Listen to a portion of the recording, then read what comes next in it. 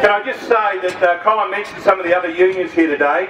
Uh, one of my jobs is to pass on to you from the Victorian Trades Hall Council Executive full support for this rally, full support for your campaign for TAFE justice. There's a couple of other unions that weren't mentioned. The Australian Services Union and the Independent Teachers Union are also here. I can see their banners.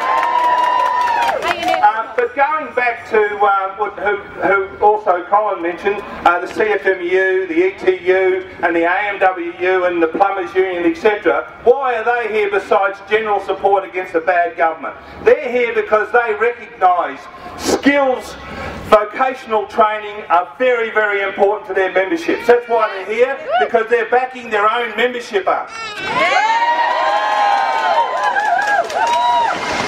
Vocational and education and training is crucial to our nation and to our state. We hear all sorts of politicians, doesn't matter who they are, talking about how important dealing with the skills shortage is all about. They rave and rant about it. But what's their answer? That's bring in overseas migrants and rip them off rather than train our own people to do the jobs properly in this country. We need the TAFE system. We need it more than ever because of the way the economy is going, not less.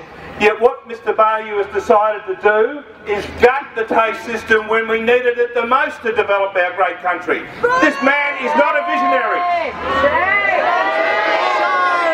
Let me tell you about Mr Baillieu. He's up there watching now.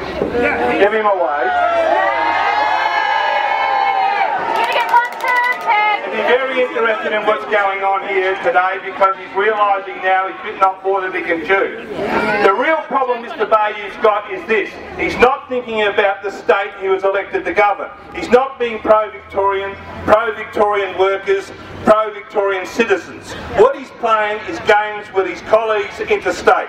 Mr O'Farrell, Mr Newman and of course Mr Abbott. He's doing that wider game plan of the Conservatives about how to wreck this country and bring it down to its knees.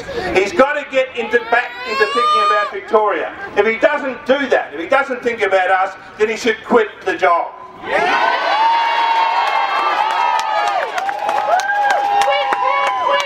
There's a slogan. There's a slogan in front of me that many of you won't be able to see. It talks value, cutting education, and building prisons. Here's my reversal of that. We should have education, affordable education for all, and the wreckers of TAFE should go to prison.